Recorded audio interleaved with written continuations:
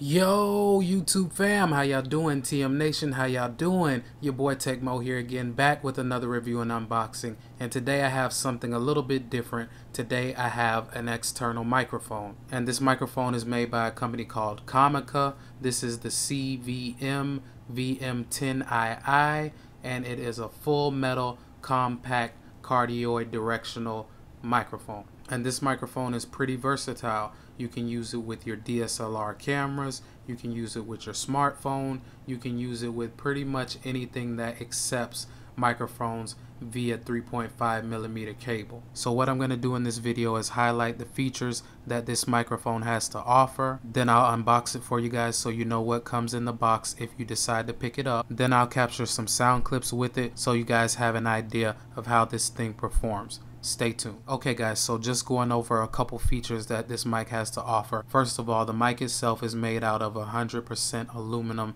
for better processing. And this microphone also features a super cardioid polar pattern. And what this is supposed to do is help filter out the environmental noise and capture what it is you're saying into the microphone. And this microphone is designed to be accurate and lightweight. As you can see, it comes with a mount so you can mount it directly on top of your DSLR camera. But if you want to use it with your smartphone, you'll have to use it with a gimbal or something of that nature. And as you can see on the screen right now, you have two color options. You have the black option or you have the red option and they both retail for $49.99. Okay guys, so now you have an idea of what this thing has to offer. Let me go ahead and unbox it for you guys and then I'll get to the sound clips. Stay tuned.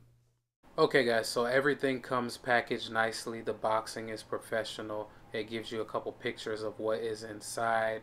Opening up the box, everything is packaged into the carrying case except for your documentation and your user guide from Comica. And the carrying case itself is a harder material. It's not exactly soft it does feel like it will keep the microphone protected if you throw it in your bag or if you're on the go and you do have Comica branding on the top.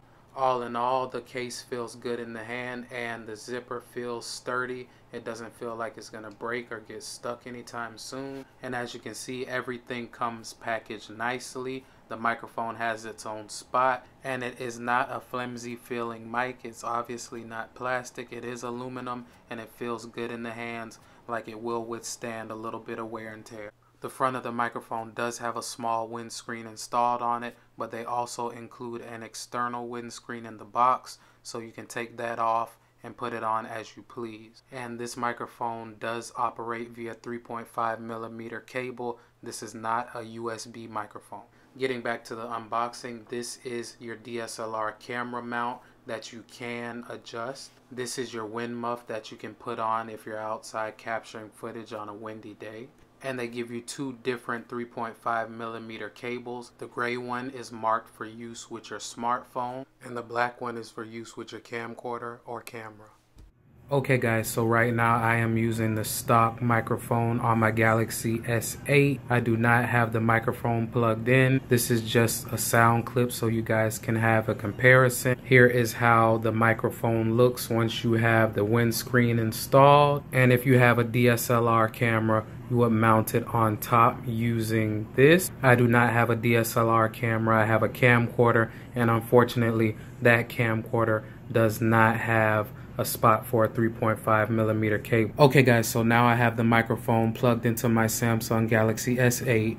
I have the microphone probably about five inches away from my mouth. So what I'm gonna do is upload this footage, put my headphones on and see if I can distinguish a difference in between the Comica mic and the Samsung Galaxy S8 mic. Stay tuned. Okay guys, so now I have the Comica mic plugged into my laptop and that is what I am using. All in all, I think the sound quality is pretty good. I think this mic is a good value being that you get the case, you get the mount, you get the windscreen and the wind muff all for 50 bucks. I really think that it's a good value. Now I usually use a Samson Go mic to capture all my audio when I'm doing videos. Now with this microphone I get the best of both worlds because I can use this while I'm out and about capturing footage and I can use it at home if I need to as well. Overall I think this is a pretty good quality mic. I think the total package makes it a great value at 50 bucks. If you have any questions, guys, let me know in the comment section. I will answer them to the best of my ability. Until next time, it's your boy Tech Moe. I'm out. Peace.